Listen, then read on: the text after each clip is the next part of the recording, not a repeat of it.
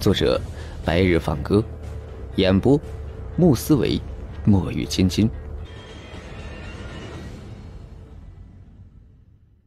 一千六百二十集，不是表面看起来那么简单，怎么回事？我们这一脉大多数都修炼成了精怪，不得不说，我们这一脉在修炼上还是挺有天赋的。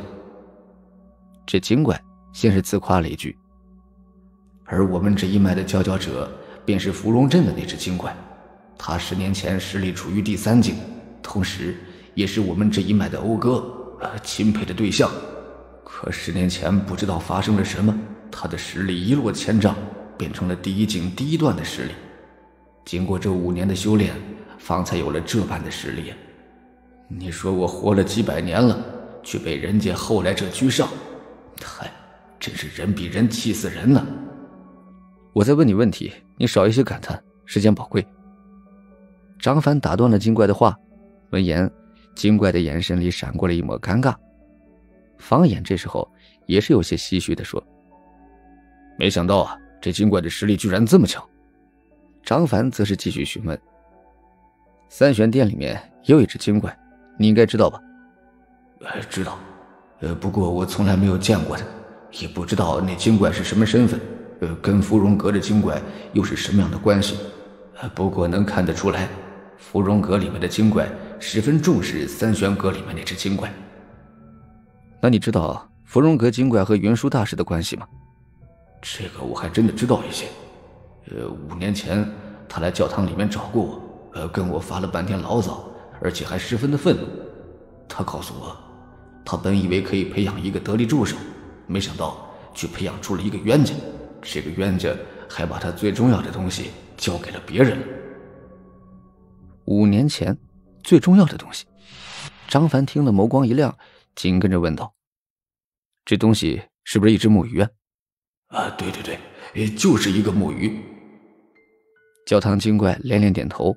“呃，您怎么知道？呃，这木鱼它到底是个什么东西啊？我当时问他，他不让我问，呃，也没有告诉我。”这个我告诉你，对于你来说也没什么意义。从这蛇精话中的意思来看呢，云舒大师并没有通过芙蓉堂精怪的同意，便把墨鱼交给了古来村的村民了。你还知道他们两个人之间的其他的什么情况吗？昨天上午，他把那一对狗男女给我送了过来，我把那对狗男女给安顿好了。呃，和对方聊天的时候，他说了这么一句话，他说：“呃，云舒这个狗杂种，对我是越来越苛刻了。”当初真是瞎了眼，才会选中了他。我感觉他们两个间的矛盾应该比五年前更加激化了。哦，对了，他说完这话以后，又说了一句：“呃，你不是自命清高，不和我同流合污吗？你不是菩萨心肠吗？我这就让你死在这上面，遂了你的心愿。”说这话的时候，他脸上浮现出了一股呃无比狰狞、阴冷的笑容。听到蛇精的话，张凡和方野的眉头同时皱了起来。如此看来，芙蓉阁精怪很可能给云舒大师设了一个大杀局！那精怪有没有说云舒大师在哪？有没有说他给云舒大师设了什么局？从云舒大师斥责达瓦所赚取不义之财，还有把木鱼交给古来村村民，帮助村民镇压邪祟这两件事情来看。云舒大师应该是一个善良之人，对于这样的人，张凡自然是关心的。呃，这个我就不知道了。呃，他只跟我说了这些。闻言，方眼的带着强烈质疑的目光立刻便投向了这教堂精怪。发现方眼的目光，那精怪急忙开口：“两位大师，我和那个精怪虽然是亲戚，但是人家压根就看不上我呀。这也是有求于我才来找的我。”不然的话，估计都不会正眼看我的，更加不要说搭理我了。在这样的情况下，他怎么可能跟我透露太多情况啊？他来拉萨市已经十多年了，我们两个一共也就接触过这么两回。我刚才已经把我所知的一切都告诉您了，绝对没有半句虚言呢。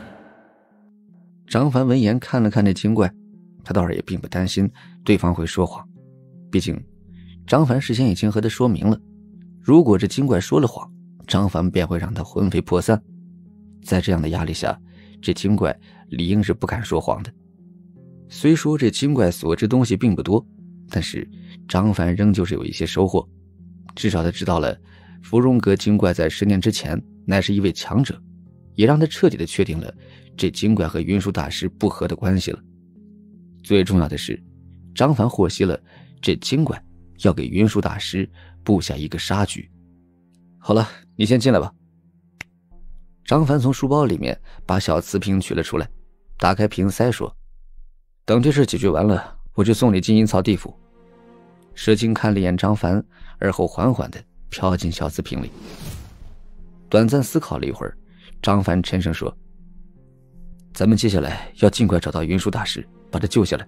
如果可以成功的话，那么一切问题或许就可以迎刃而解了。”两人这段时间的努力并没有白费，令得两人收获颇丰。